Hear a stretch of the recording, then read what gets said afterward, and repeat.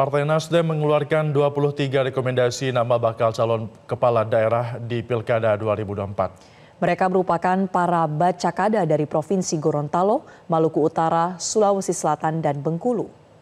Ketua DPP Partai Nasdem Willy Aditya menyerahkan 23 rekomendasi nama bakal calon kepala daerah di Pilkada 2024 usai gelaran rapat pleno hari ke-6 di DPP Partai Nasdem Jakarta. Willy mengatakan optimistis partainya akan meraih 60 persen kemenangan di pilkada tahun ini. Willy menjelaskan hal ini dapat terlihat dari kualitas para kandidat yang telah diusung di masing-masing DPW di sejumlah provinsi melalui pendalaman dan kajian panjang dalam rapat pleno yang diselenggarakan sejak 27 Mei hingga 5 Juni mendatang. Willy Aditya menyebut faktor pengusungan dilihat berdasarkan aspirasi yang berkembang di bawah, tercermin dari elektabilitas, kemistri, strukturitas, dan sinergitas.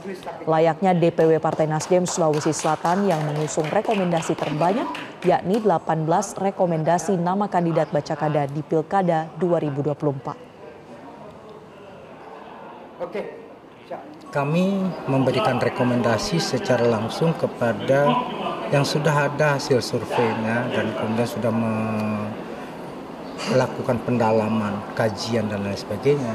Bagi yang belum tentu kita masih menunggu karena keputusan politik yang diberikan oleh Partai Nasdem adalah sebuah keputusan politik yang rasional. Bagaimana potensi kemenangan probability kemenangan itu menjadi sebuah preferensi dalam pengambilan. Jelajahi cara baru mendapatkan informasi. Download Metro TV Extend sekarang.